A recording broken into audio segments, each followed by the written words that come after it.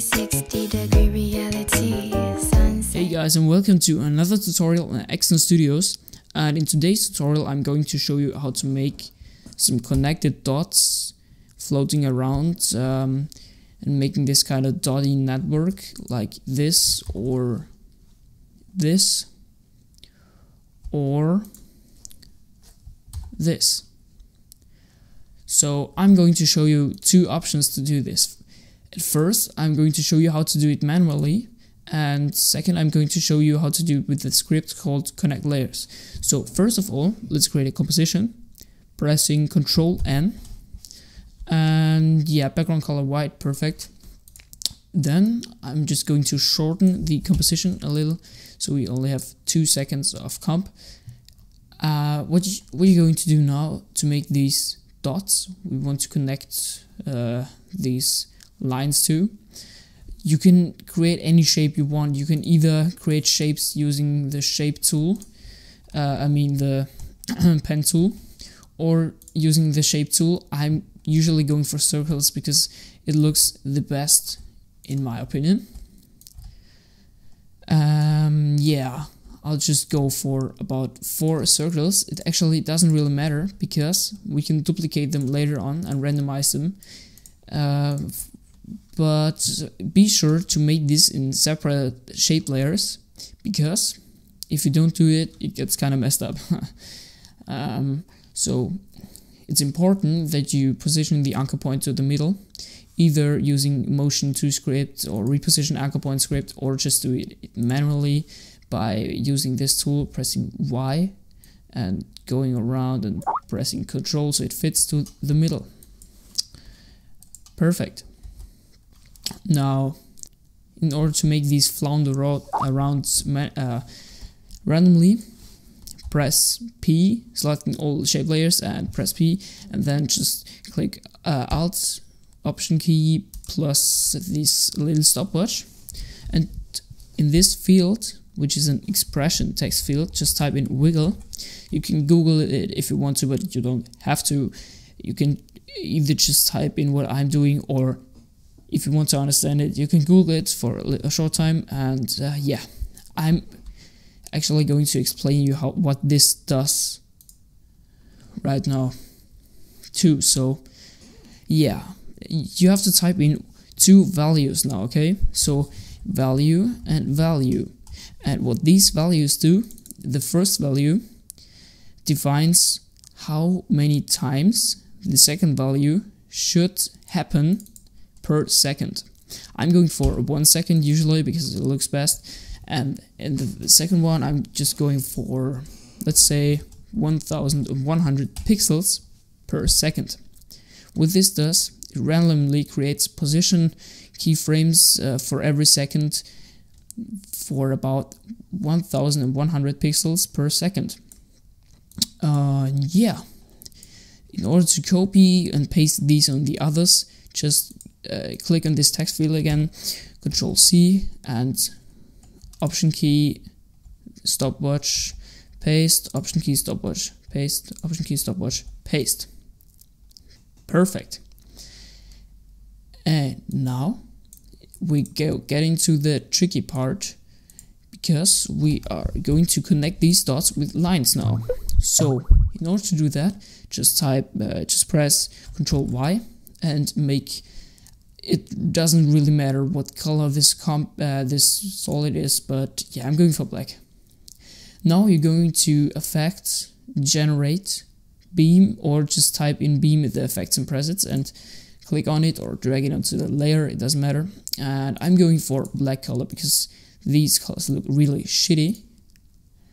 Just turn on the softness because we don't want the gay lightsaber uh, be sure that the length is 100% because if it's not, it has like a trim path function and time should be 50% because otherwise it would have this trim path offset effect.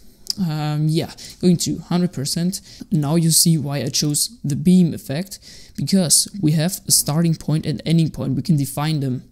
I'm going to define them by these positions of these shapes just pressing option on both of uh, start and ending point and then we get this uh, expression thing again. Now I'm going to select all of these shape layers again, pressing P, and now we get the position, the wheelie position of every um, of every shape, and I can select this pick whip and drag it onto position of random shape layers, so it connects a line. It makes a line between two dots. It always stays there. So I'm just going to duplicate this and I can either do this again, dragging it onto shape layer 3 and shape layer 2, or I'm going to duplicate it again. I can also just type in my shape layer 2 and 1 here. And now you can see we already got this connection between all those dots. And in order to make this to a whole network, so every connect, uh, every dot connects every dot, just yeah, you have to duplicate and do some annoying stuff.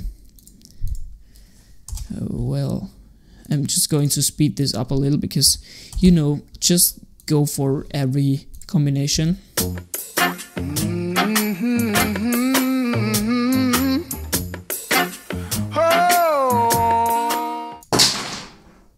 LOL. Never know how much I love you. Never know how much I care. Perfect, so I think I got everything now, yeah. Uh, I'm going to render this out really quick. As we can see, we already got a nice looking animation. But we can save all this work up by using a script, a free script called Connect Layers. You can get it for free at uh, aescripts.com you can select uh, zero dollars but i would recommend paying something because it's a really helpful script. So when you install this you should have it in the window connect layers.jsx and what this basically does is I'm going to delete all of these lines again what this does uh, it saves me up the time of creating these dumb lines by just selecting these shapes. I'm just going to duplicate them a couple times so we get a even bigger network at the end. And I'll select all of these shape layers and I can either press triangulation so I get this effect as I did it before, like this network effect. I get a feeling that's so hard to bear. You give me So yeah, as you can see, uh, we got nice. We got some nice strokes. We could either select all of these and uh, change the stroke to black and make it about five because five looks cool. Uh, or we could, uh, you could have just chosen um, stroke color black and stroke width five here this is what I got now. I'll just render it out really quick. As you can see, it renders really quick for uh, that big, that uh, much movement. Well, this is really, I think this looks really cool. There's also another option we have in this connect layers script. I'll delete all of these again. We can press tree so we get something like this. Just uh, some dots are connected to each other so we get a whole long snake in the end. I'll just show it to you real quick. And this goes wait wait I forgot to make this stroke black again. This uh, this is way faster because uh, we have about half of the lines as we had before so you can see we got this little star sign looking animation now. And yeah, that's basically it. I hope um, this tutorial helped you, and I guess I'll see you next time.